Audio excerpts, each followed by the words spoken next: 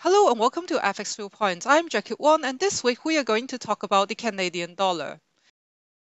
As widely expected, the Bank of Canada cuts its policy rate by 25 basis points to 4.25% in September. This was the third straight cut. In the words of the governor, the central bank cares as much about inflation being below the target as above it.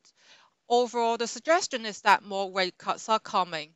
Markets currently expect at least two additional 25 basis point cuts by the end of 2024, while our economists expect only one additional cut this year, followed by 75 basis points of easing in 2025.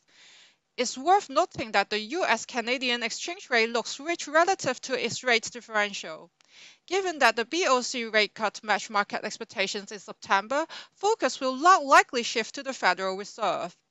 Markets expect the Fed to cut rates by at least 25 basis points, with around a 40% chance of a larger 50 basis point cut at its September meeting.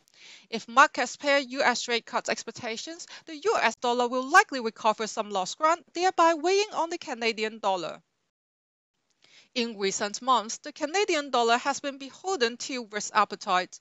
Using the S&P 500 index as a proxy, we can see that equity market weakness in the last few days has weighed on the Canadian dollar as perhaps has a sharp drop in oil prices. In summary, if risk appetite weakens or markets pare back US rate cut expectations, the Canadian dollar will probably face downside risk. Thanks for watching.